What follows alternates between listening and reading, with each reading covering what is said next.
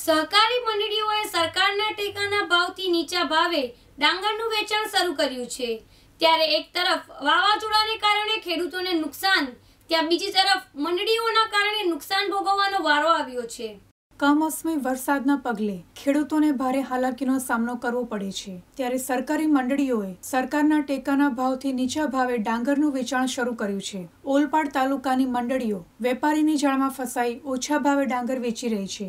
જહાંગીરપુરા સોસક તલાડ પાલ બોયસિંગ સહિતની મંડળીઓ ટેકાના ભાવથી ઓછા ભાવે વેચાણ કરી રહી છે. એક તરફ વાવાઝોડાના કારણે ખેડૂતોને નુકસાન, ત્યાં બીજી તરફ મંડળીઓના કારણે ખેડૂતોને નુકસાન ભોગવવાનો વારો આવ્યો છે.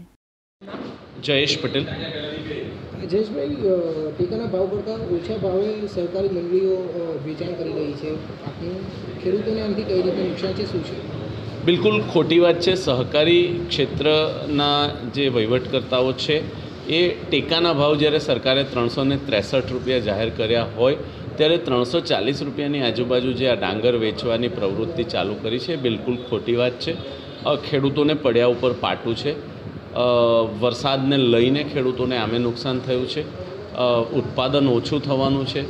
ત્યારે અને ડાંગરમાંથી બનતી પ્રોડક્ટ, ચોખા અને પૌવા મમરાના ભાવ જ્યારે બજારમાં ઓછા ન થયા હોય, ત્યારે કયા સંજોગોમાં આટલા નીચા ભાવે વેચે છે મને સમજાતું નથી. દક્ષિણ ગુજરાતમાં સાડી ત્રણસોથી ચારસો કરોડ રૂપિયાનું હુડિયામણ રળી આપતો આ પાક છે.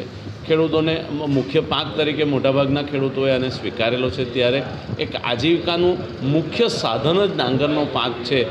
વહીવટકર્તાઓ જે ખૂબ મોટો વિશ્વાસ, વર્ષોથી સહકારી મંડળીઓ પર ખૂબ ઊંડો વિશ્વાસ ખેડૂતોને છે, ત્યારે આવી પ્રવૃત્તિ કરીને ખેડૂતોના વિશ્વાસની સાથે શા માટે વિશ્વાસઘાત કરી રહ્યા છે મને સમજાતું નથી. સાબિર સાહેબ સાથે અશ્મિતા પટેલ, દિવ્યાંગ ન્યૂઝ સુરત.